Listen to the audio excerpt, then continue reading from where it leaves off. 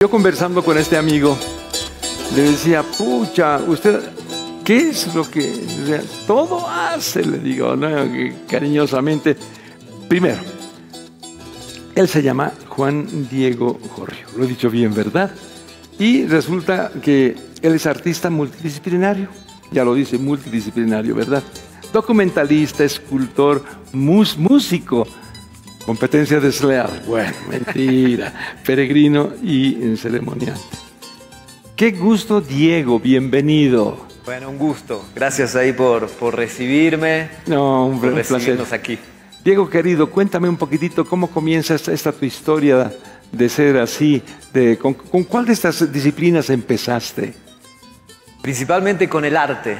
Ya. Sí, ahí con conexión mucho con el arte visual. Ah, Eh, ya. Me formé como diseñador gráfico. Después estuve integrando la parte escultórica, la parte de pintura, la parte de música, hasta que eh, tuve un gran despertar espiritual en Brasil. Y ¿Cómo ocurrió ese despertar espiritual? Fue gracias a, a conocer a, a un abuelo sabio en Minas Gerais, Ah, un lugar claro. muy sagrado. Claro. Y a partir de ahí fue esta visión de integrar toda esta formación de artista visual, de comunicador, al espíritu. ¿no? Entonces a, través de, ello eh, empecé a caminar, a recorrer el Avia Yala, a peregrinar y a poner en, servicio esta misión de mensajero para poder comunicar la palabra de abuelos, de abuelas sabias del territorio y poder compartir el mensaje de, de los ancestros, ¿no? Entonces fui re- me fueron reconociendo ahí como un chasqui, como un mensajero, ¿no? Qué bueno. ¿Cómo consideras tú sin, sin entrar? A veces el, el campo es medio a ver, complicado, no valen las comparaciones, pero a veces uno siente por, por algún, por algo un poquito más que por lo otro. El mensaje del, del arte visual, como ese, como tú lo ves, como eh, te parece más directo que el mensaje de, de alguien que canta, por ejemplo, que hace un instrumento. ¿Cómo percibes eso?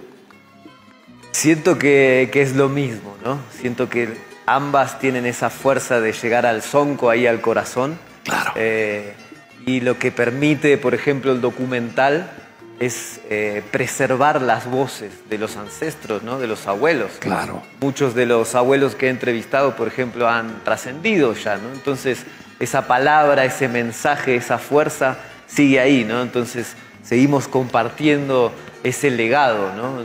Y esos abuelos a los que tú entrevistaste, me imagino, de diferentes eh, culturas dentro de la Avia Yala, esos abuelos se han mostrado predispuestos a, a contarte, porque algunos de ellos a veces son reacios a contar y se van con ese bajaje de conocimientos, ¿no? ¿Cómo, cómo ha sido la reacción de ellos contigo? Es una, fue una relación de, de conocerme, ¿no? De, de ponerme a prueba, como siempre Claro, digo, ¿no? Porque claro. no es sencillo uno llegar y poner una cámara y entrevistar a un abuelo, sino Claro, directamente es, eh, bueno, convivir con ellos y realmente ellos poder ver la, la profundidad de- de- del corazón de uno, ¿no? Y, y realmente es una prueba de honestidad, ¿no? De realmente Sí. poder ellos entregar ese mensaje y que uno realmente pueda tomar ese compromiso para poder entregar su mensaje a través, por ejemplo, de, de los documentales. ¿no? Entonces Claro. fue realmente una, una relación de, de hasta de amistad también, ¿no? Después en el tiempo. Porque es difícil a veces con los abuelos, son reacios a veces a contar, pero este es un tiempo, yo creo que incluso puedo decir que es una obligación para todos nosotros quienes estamos en la música, en el arte o, o en los medios de comunicación, recuperar los saberes ancestrales, ¿no es cierto? Y ahora sí te, tengo la, la pregunta, ¿cómo? Hablarnos un poquito del proyecto. Esto, esto, es, esto es importante. Nación del Quinto Sol. Contame un poco de eso. Sí, un poco viene de este peregrinaje, este gran peregrinaje que arranca en el 2009, ¿sí? donde siento el, el llamado de recorrer el Avia Yala y a través de este gran viaje que dura dos años. Más de 10 años, ¿no? Dura dos años el primer viaje, desde Ya. Argentina hasta Colombia, donde a través de este viaje realizo el do- primer documental que se llama Pachacuti el viaje.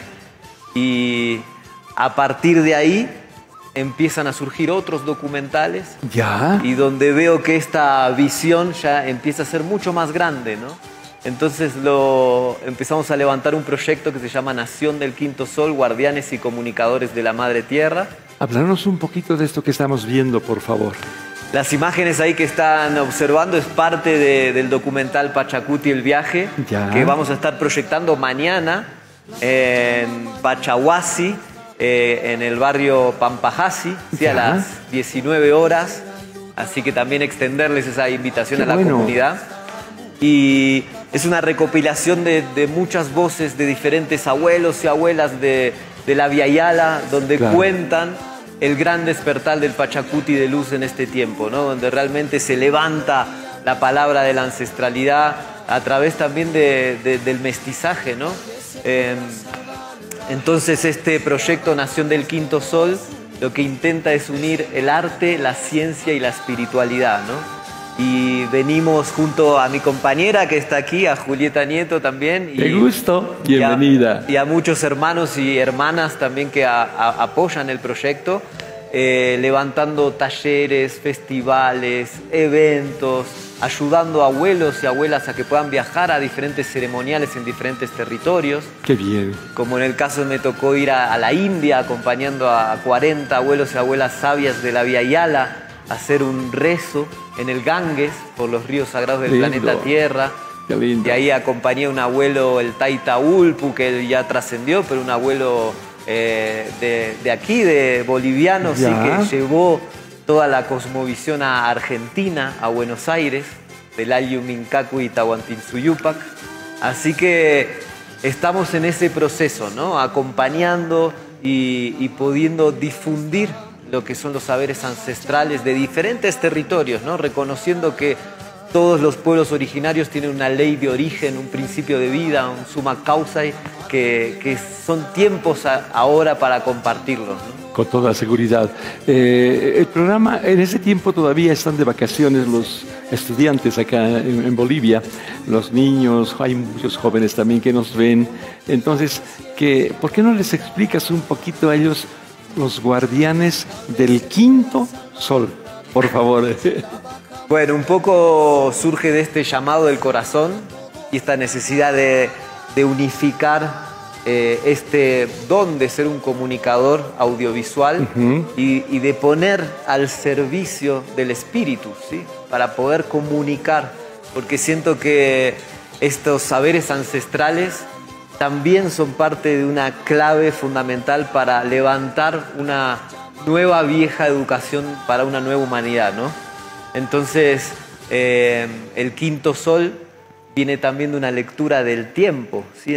entendiendo, ¿sí? los abuelos dicen que un pachacuti corresponde a 500 años en el tiempo. Desde 1992 entramos en el segundo pachacuti de este quinto sol.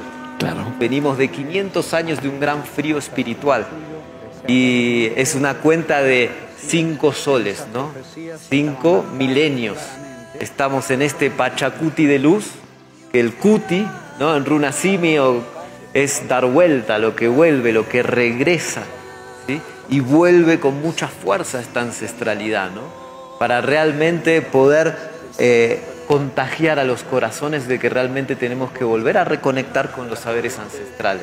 Estamos en un tiempo tan complicado, especialmente en los países de la vía, vía la verdad, que políticamente, que socialmente, en los países confrontados, es todo pareciera que se cree que todo, todo lo puede y todo lo soluciona la política, en otros casos la politiquería, ¿no? Eh, estamos dejando de lado esto que hablamos contigo, que es la espiritualidad. Eh, yo siempre ah, digo acá como un mensaje muchas veces al terminar el programa, eh, especialmente dirigido a nuestros políticos, está bien, hay que abrir, hay que pensar, pero más importante creo es abrir el corazón. Ojalá que eso que estamos hablando tú y yo haga carne en la gente con tus documentales, con todo aquello. Por favor, reitera la invitación para mañana. Mañana vamos a estar en el barrio Pampajasi, en el centro espiritual Pachahuasi. Ya. ¿sí?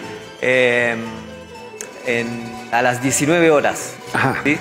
Em, la dirección, a ver, que la busco. Queda tan, tan- tómate ¿Eh? tu tiempo, no hay ningún problema. Ahí está, eh, eh, A ver, Juli, ¿te acuerdas? está apareciendo también en, en- en pantalla. ahí está, el Ahí flyer. está, ahí está. Compadres queridos, eh, exacto, es en la calle Camargo 120. Ahí ¿No va. es cierto? Eh, ¿Tiene algún costo el asistir? Estamos ahí pidiendo un aire y una reciprocidad de 10, de 10 bolivianos, Ah, perfecto. pero no excluyente, así que está súper abierto ahí a- al público para que venga ahí a compartir con nosotros y ver este, este documental, ¿no? que es parte de, en realmente levantar un círculo de, de abuelos, ¿no? porque está la palabra ahí, está el mensaje Qué bueno. y es bastante in- in- inspirador, ¿no? En estos tiempos que tan que has marcado tú, ¿no? Tan tan confrontativos con políticas a veces tan eh, en choque, ¿no? Con lo que es este este saber ancestral de, de cuidar la vida, ¿no? Te felicito.